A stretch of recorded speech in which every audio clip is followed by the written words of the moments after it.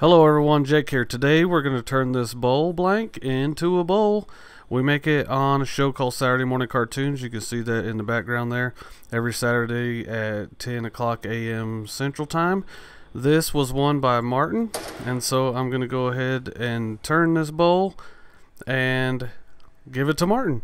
As you can see here, the center of that is not going to be balanced. I put a cup in the center of that when I pour that blank and I didn't have it center of the mold so that causes that to be unbalanced and now we have to go ahead and clean out the middle of that first to make it round so we we can get up some speed. And now we can flatten off the top of the bowl so we can flip it back around in the Cole jaws so that we can put a mortise or a tenon on the bottom. To straighten out the inside of this bowl I'm using a combination of a number one hollower and a mid-size finisher. And I also like to call that just a circle cutter. They all have negative rake uh, carbides on them all my resin projects I use uh, negative rake. And what I'm doing here is I'm just getting I'm rounding the top of the bowl and I'm gonna slant it in a little bit just so it helps us hold in the Cole jaws a little bit better when we turn it around. Now we just need to flip this thing around in the Cole jaws and I do have to uh, get those feet and adjust them one. You'll see here in a little bit and you'll see the camera magic right here.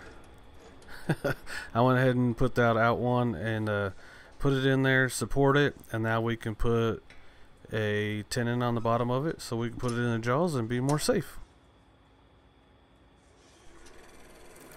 I'm going to use the finisher or the circle cutter to go ahead and flatten off the bottom of this bowl I like to keep in mind that the, I want the bowl to sit on the outside next to the edge at the at the end of this whole thing. So I'm not gonna take off too much on the outside but I'm gonna go a little bit deeper in the center because that's where we're gonna put our tenon and that's where I'm gonna uh, finish it out at the end of this thing when you're putting in your mortise or tenon for your dovetail you can use a detailer or a microfine detailer.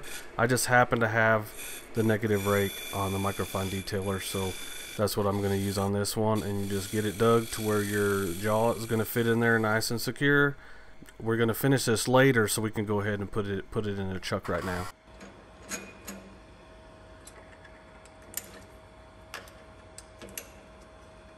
I can't say enough about this Easy Wood Tools Easy Chuck you just put the little tool in there and take these jaws off put the other ones on and you can get right back to work. I can't say enough about it. It's super convenient and I'll have links to the chuck and some of the jaws and some of the other tools I use below so go check them out. And I'll also take this opportunity to tell you thanks for watching and go ahead and subscribe. Leave me a comment after the video, pretty please. Now let's get to turning this thing. This thing's already way more balanced and I can have way more speed than I did on my last bowl because I already balanced the inside of this thing on that first step. So now it's uh, pretty easy to get the outside of this thing round and now we know what I'm waiting for the whole time is this next shot.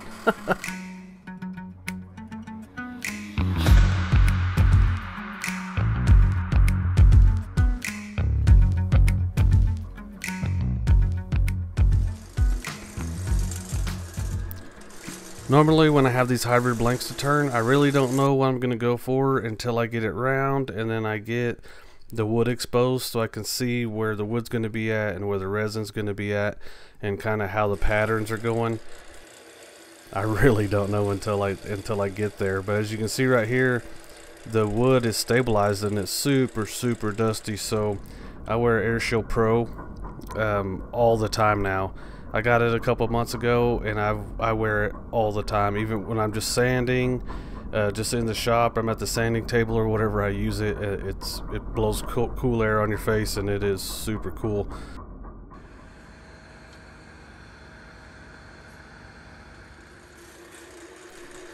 At this point I can see where the wood's going to be at and I can see where the resin's at and I kind of have a shape in my head so I just start taking material away until I get to that shape and on this particular project, I really don't like the pattern that the resin is making right now. But as you can see on the sides, on the top and the bottom of the bowl, you can kind of see swirling and on the in the middle right there it's just up and down.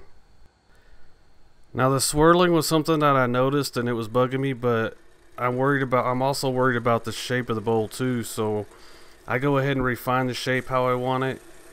And then I take a little break, eat a sandwich, and then I come back and I dig a little deeper and and keep the same shape. I just kind of bring everything down a little bit and now I'm going to have my swirling that I wanted. We'll see those awesome swirls soon enough, but right now it's time to hollow out this bowl. And this might sound funny, but my main objective right now is to not wreck this bowl. We went through all the trouble. We It's been on the live show. I'd stabilized the wood. We casted it together. This guy's expecting it. We give it to him, so I don't want to make a funnel out of this thing or go through the side. We've dug in pretty far on the side, so I don't want to make a funnel. So I'm just going to make a transition a nice transition from the bottom to the side and from the top to the side. I'm going to go ahead and sand this thing. We're going to start at 120 and then go to 240, 320, and we're going to end at 400 grit. And then we're going to go to, to Yorkshire grit. But here's my favorite part right here. Denatured alcohol after the sanding. And there's those swirls. Oh my goodness, I'm so happy I kept turning a little bit further to get those swirls out.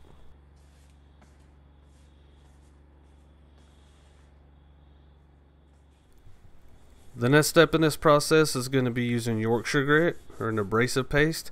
We're going to get some and rub it on there and then we're going to turn on the lathe and work it in until until we feel like it's worked in all the way and you can feel it whenever you're finished and then you get a clean paper towel and wipe all the excess Yorkshire grit off and until you have no more coming out on your paper towel and then you're done. We're going to end up buffing this project off with the buffing wheels that attach to the lathe, but they won't fit inside that bowl. So I, I get a drill and I have buffing wheels that attach to the drill and I buff out the inside with that. I do all three steps in that also, but that's just something you need to keep in mind when you're going to buff is will, will the buffing wheels even fit in there and you might have to come up with al alternative ways to get it done. I'm pretty satisfied with this project so far. Now I just need to take it off of there, change these jaws over back to the Cole jaws, and then mount it up there. I always put a paper towel on the bowl or the whatever I'm turning on there because those those feet that are on the Cole jaws will leave a mark on it if you don't. So I just put a paper towel on there and it seems to protect it just fine. I'm going to cut slow and easy and I'm going to leave the tailstock up as long as I can and then when I remove it I'm gonna go even slower and easier and just finish out the bottom of this thing. We're gonna go ahead and do the same process we did before.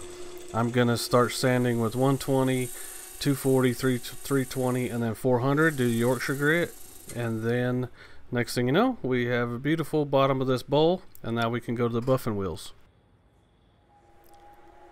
And now we're at the buffing wheels super easy it's three-step process. Just try not to let it uh, jerk it out of your hand. It, it'd be kind of a shame at the last minute to throw this thing across the shop, but let the wheels do the work. Don't let it stay in one spot too long. And next thing you know, you're to have a beautiful bowl that we can give to Martin.